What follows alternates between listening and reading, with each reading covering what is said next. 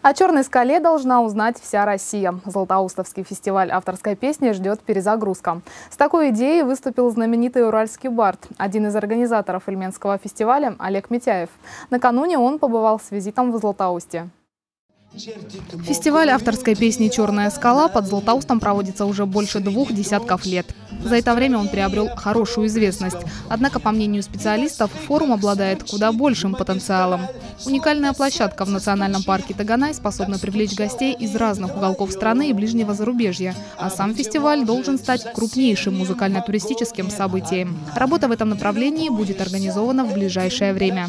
Конечно, хочется, чтобы это продолжалось, продолжалось э, э, в более, скажем, высоком организационном качестве, э, продолжались традиции, и, в общем-то, вот этот мостик между молодежью и стариками, которые застали тот расцвет авторской песни, он должен быть налажен. Ведь очень давно поднимались эти вопросы э, о туризме в Златоусте и в окрестностях, потому что это очень красиво все и э, до сих пор не решалось. Сейчас такое ощущение, что лед тронулся и что-то будет происходить.